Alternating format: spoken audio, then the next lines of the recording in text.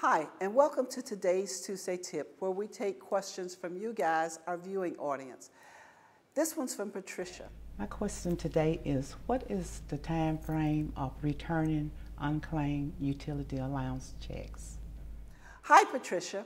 HUD states that the checks have to be dispersed within five business days. However, Chapter 7 713 of the MAT User's Guide states if the utility reimbursement is not disbursed to the tenant or utility provider, for instance, the tenant picks it up, forgets to pick it up, doesn't pick it up, doesn't ever come in, never cashes it, uh, the check or the tenant moves out, that the funds must be returned to HUD.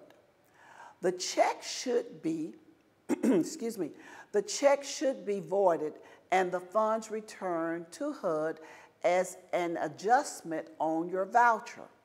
The owner needs to ensure, however, before returning the funds, that the tenant has been given every opportunity, significant opportunity, to cash the checks and that all attempts have been exhausted in reaching the tenant including any requirements under the state and the local laws. What does your company policies and procedures say about the time frame? Follow your policies and your procedures. That was an excellent question, and I'm sure a lot of people wonder the same thing.